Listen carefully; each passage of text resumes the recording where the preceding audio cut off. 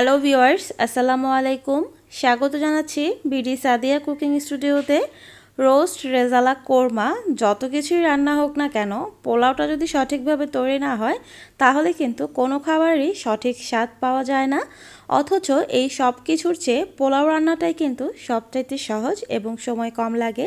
কিন্তু এই পোলাও রান্নাতেই আমাদের অনেক রকম সমস্যা দেখা দেয়। পোলাও রান্নার সকল সমস্যার সমাধান নিয়ে আমার আজকের ভিডিওটা আশা করছি আপনাদের সবার খুব ভালো লাগবে। তাহলে চলুন দেখে নিচ্ছি।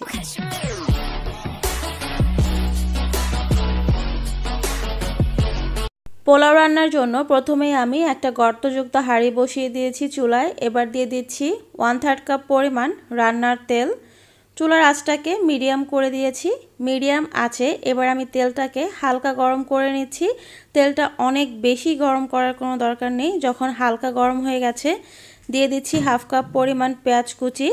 এবার আমি মিডিয়াম আছে, পেঁয়াজটাকে হালকা করে ভেজে নেব। একদম বাদামি করে ভাজবো না।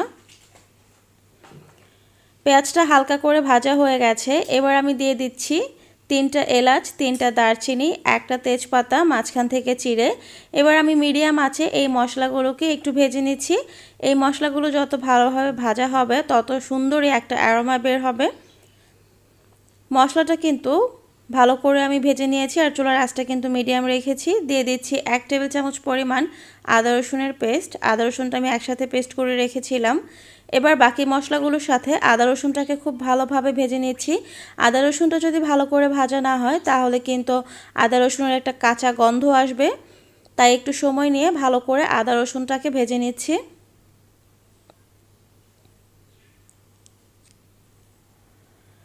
আদা রসুনটা বাকি মশলার সাথে ভাজা হয়ে যাওয়ার পর দিয়ে দিচ্ছি চিনি গুঁড়া পোলার চাল, তিন কাপ পরিমাণ। চালটাকে আমি আধা ঘণ্টা আগে ধুয়ে পানি ঝরিয়ে রেখেছিলাম।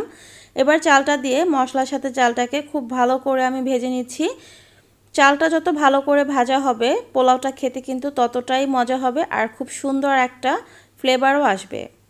মিডিয়াম আছে চালটাকে একটু সময় নিয়ে ভালো করে ভেজে নিচ্ছি।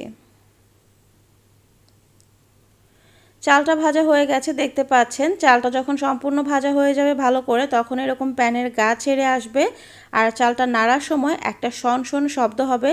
আর চালটা কিন্তু আগের তুলনায় বেশ অনেকটা সাদাটে ভাব চলে এসেছে। এবার আমি দিয়ে দিচ্ছি ছয় কাপ পানি। আজকে আমি যেহেতু তিন কাপ পরিমাণ চাল ব্যবহার করেছি, তাই আমি ছয় কাপ পরিমাণ পানি দিচ্ছি। পানি দিয়ে চালের সাথে পানিটাকে একটু ভালো করে মিশিয়ে দিচ্ছি। এবার আমি এখানে দিয়ে দিচ্ছি তিন টেবিল চামচ পরিমাণ গুঁড়া দুধ।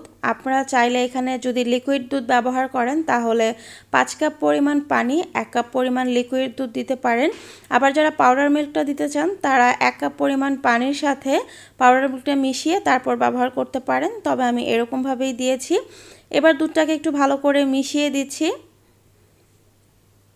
পানিটা যখন ঠান্ডা থাকবে তখনই কিন্তু দুধটা দিয়ে দিতে হবে, কারণ পানিটা যদি গরম হয়ে যায় তাহলে কিন্তু দুধটা মেশাতে একটু সমস্যা হয়ে যাবে। দুধটা ভালো করে মিশিয়ে দিচ্ছি, আর চুলার আঁচটা কিন্তু এখন আমি সম্পূর্ণ বাড়িয়ে দিয়েছি। এই আছে বাড়িয়ে দিয়ে এবার আমি দিয়ে দিচ্ছি এক টেবিল চামচ পরিমাণ বাদাম। এখানে আমি চীনা বাদামের পেস্ট ব্যবহার করেছি, আপনারা চাইলে এখানে কাজু বাদাম অথবা পেস্তা বাদামও দিতে পারেন। বাদামটাকে একটু ভালো করে মিশিয়ে দিচ্ছি। বাদামটা মেশানো হয়ে যাওয়ার পর দিয়ে দিচ্ছি পরিমাণ মতো লবণ। পানিটা কিন্তু ফুটতে শুরু করেছে। লবণ দিয়ে দিয়ে দিচ্ছি কিছু কাঁচামরিচ। কাঁচামরিচ দিয়ে আমি আবার একটু ভালো করে নেড়ে চেড়ে লবণটাকে মিশিয়ে দিচ্ছি যেন লবণটা সম্পূর্ণ চালের মধ্যেই ভালো করে মিশে যায়। আর চুলার আঁচটা কিন্তু এই মুহূর্তে সম্পূর্ণ বাড়িয়ে রেখেছিলাম। বলক যখন চলে এসেছে, এবার আমি চুলার আঁচটাকে মিডিয়াম টু লো করে ঢাকনা দিয়ে ঢেকে দিচ্ছি। দশ মিনিট পর ঢাকনাটা তুলে নিচ্ছি। এবার আমি একটু নেড়ে চেড়ে দেখাচ্ছি যে পোলাওটা কিন্তু হয়ে গেছে। এই পর্যায়ে খুব বেশি নাড়াচাড়ার দরকার নেই, একটু হালকা করে নেড়ে দিচ্ছি। সম্পূর্ণ পোলাওটাই কিন্তু হয়ে গেছে। চালগুলোও খুব ভালো করে সেদ্ধ হয়ে গেছে। এবার দিয়ে দিচ্ছি এক টেবিল চামচ পরিমাণ ঘি। অবশ্যই কিন্তু এই পোলাওতে ঘিটা দেওয়ার চেষ্টা করবেন, কারণ ঘিটা দিলেই কিন্তু বিয়েবাড়ির একটা শাহি ফ্লেভার আসবে। এক টেবিল চামচ পরিমাণ ঘি দিয়ে দিয়ে দিচ্ছি হাফ চামচ পরিমাণ কেওড়া জল। কেওড়া জল এবং ঘিটা দিয়ে এবার আমি পোলাওটাকে আবারও একটু নেড়ে দিচ্ছি যেন ঘিটা চারিদিকে খুব ভালোভাবে মিশে যায়। ঘিটাকে খুব ভালোভাবে মিশিয়ে নেড়েচেড়ে আমি ঢাকনা দিয়ে ঢেকে দিচ্ছি পাঁচ মিনিটের জন্য। পাঁচ মিনিট আমি ঢাকনা দিয়ে ঢেকে রেখে পোলাওটাকে আবারও একটু রাখছি, এরপর নামিয়ে পরিবেশন করছি। তৈরি হয়ে গেছে। বিয়েবাড়ির স্বাদে শাহি পোলাও। খুব সহজেই কিন্তু তৈরি করে ফেললাম। আশা করছি আমার আজকের রেসিপিটা আপনাদের ভালো লেগেছে। রেসিপি ভালো লাগলে চ্যানেলটি সাবস্ক্রাইব করুন এবং পাশে থাকা বেল আইকনটি বাজিয়ে দিন আমার পরবর্তী রেসিপির আপডেটের জন্য। ভিডিওটিতে একটি লাইক দিন এবং অবশ্যই প্রিয়জনদের সাথে শেয়ার করুন। এতে করে এত সুন্দর একটা ভিডিও তারাও দেখতে পারল। আমার আরেকটি ইউটিউব চ্যানেল আছে যেখানে আরও বিভিন্ন রকমের রেসিপি শেয়ার করা হয়। আপনারা চাইলে ভিজিট করতে পারেন। লিঙ্ক ডিসক্রিপশন বক্সে থাকবে। আজকে এই পর্যন্তই। আল্লাহ হাফেজ।